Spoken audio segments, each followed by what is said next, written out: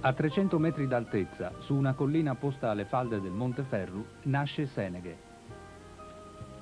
Le popolazioni sparse nel territorio hanno dato origine a questo villaggio già nei tempi precedenti le infiltrazioni puniche e romane.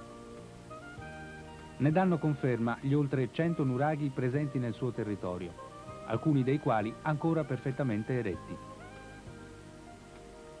Il ritrovamento poi di altri monumenti di epoca ugualmente remota come la tomba dei giganti e una domu deiana, rafforzano le rivelazioni storiche.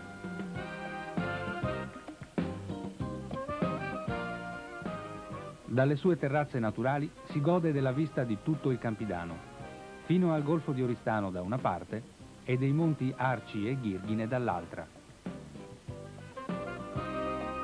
Il territorio seneghese è sempre prodigo di bellezze naturali. Queste rocce, dette Laccos, in inverno sono una vera e propria cascata, circondata dai maestosi boschi di leci e sughere.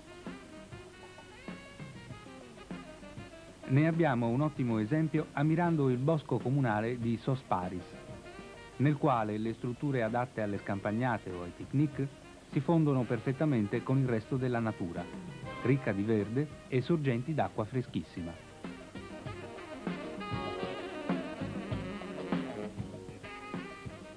Se tutto questo è una realtà ancora esistente, lo si deve soprattutto all'attaccamento che ciascun seneghese sente profondo per la propria terra. Lo stesso amore che li unisce nella difesa del territorio dagli incendi o dai pericoli comuni.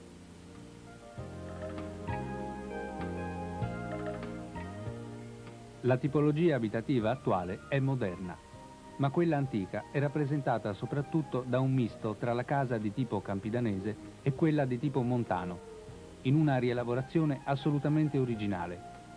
Come questa della fine dell'Ottocento, perfettamente restaurata, vi può meglio testimoniare.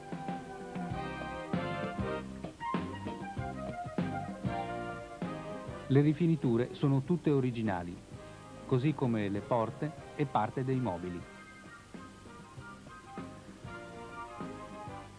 Al piano terreno Somo Manna, Saposento e Groccai, Sagoghina su Magazzino.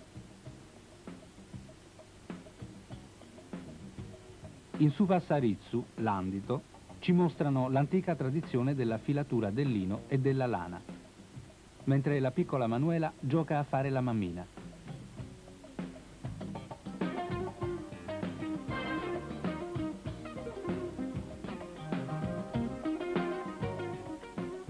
Ma è in Sapposento e Brandere che ci viene riservata una speciale, dolcissima sorpresa. Sei venuto a Matteo da Zeneghe essendo questo hobby, vai questo drucchi, che mi braga tanti.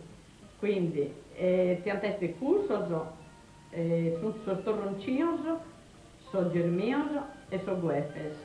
Poi questo sunto, pitti pur, amaretto dolce. Sos amarettoso, questo so biancheddoso, questo è una druta che può frio a Sardegna canta, e questo so spavazioso. Deus é um livre abreu. Livrar Vermelha faz essas coisas tradicionais de boguinha e todos os grupos. Tutte queste panadas a vacas, a derezza mista e de, de viorato antunna. Poi questa appunto questa sedita di mele, su mele in sene che è abbastanza pregiato, favorita e di produzione. Questa appunto questa spardula da gasi arveghe.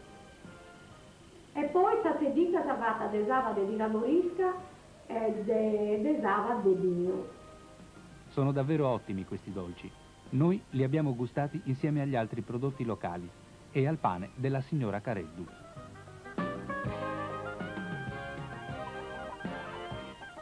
Ma per le vie del paese sono molte le cose da vedere. La casa Spano, in stile aragonese, con i suoi cento anni sulle spalle, è un esempio così come molte delle facciate che si aprono sul corso Umberto, all'inizio del quale spicca nella sua maestosa semplicità la chiesa di Santa Maria delle Rose, risalente al XIII secolo.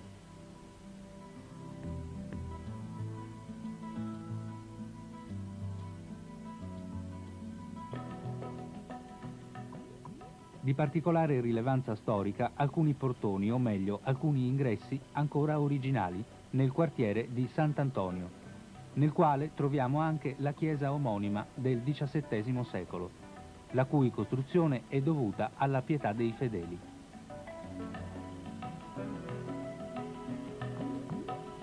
La parrocchia spicca fra tutti i luoghi sacri per la sua imponenza architettonica e per il pregio degli affreschi di Giovanni Scanu contenuti al suo interno.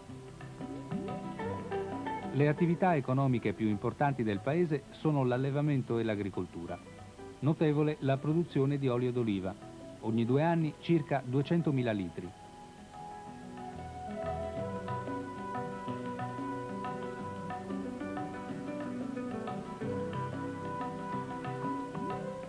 A tale proposito ci sembra doveroso menzionare il riconoscimento avuto quest'anno da un'azienda locale che ha ottenuto il primo premio nazionale Ercole Olivario per l'olio extravergine nella categoria fruttato intenso e del quale ci ha parlato Gianni Cosseddu, titolare.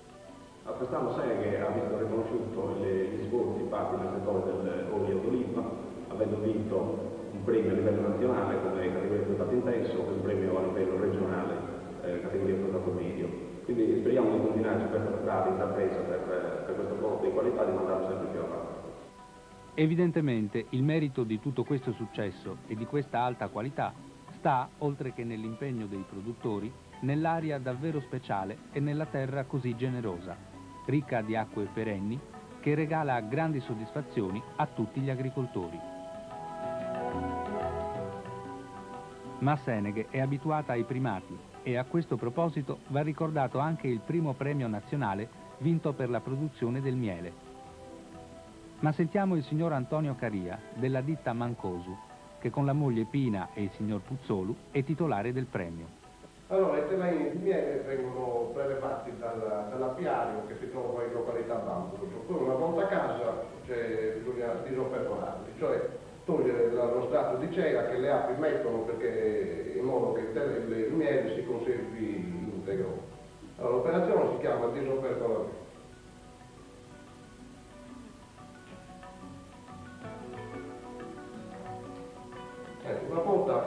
Viene terminata questa operazione, il telarino viene messo nella centrifuga, in modo tale che il miele fuoriesca e poi dalla centrifuga venga filtrato mediante eh, filtri di, di, varia, di, varie dimensioni, di varie calibrature.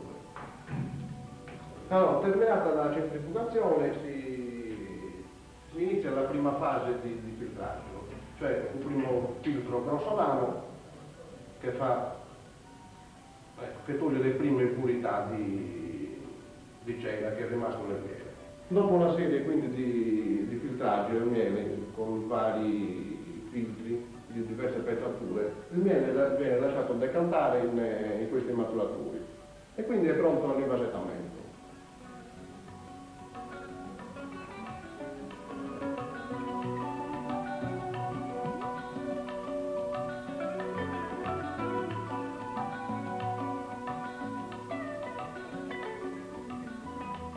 Non essendo un paese di passaggio, Seneghe è rimasta piuttosto isolata dalle vicende della zona e pertanto è stata più naturale la continuazione nei secoli di usanze e feste nelle quali conservare inalterati i vecchi rituali. Come queste immagini forniteci da un videoamatore ci mostrano, le tradizioni seneghesi raggiungono la massima espressione durante il carnevale, che comincia il 20 gennaio e termina il martedì grasso. In questo periodo la piazza dei Balli diventa il centro della vita del paese, punto di ritrovo per giovani e vecchi.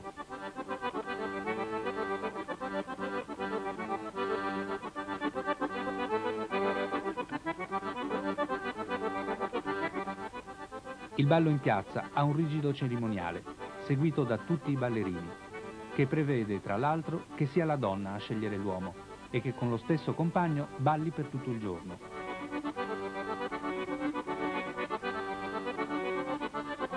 Paese che vai, usanze che trovi, dice il proverbio. Ma le usanze di Seneghe e soprattutto dei seneghesi sono davvero gradevoli e simpatiche.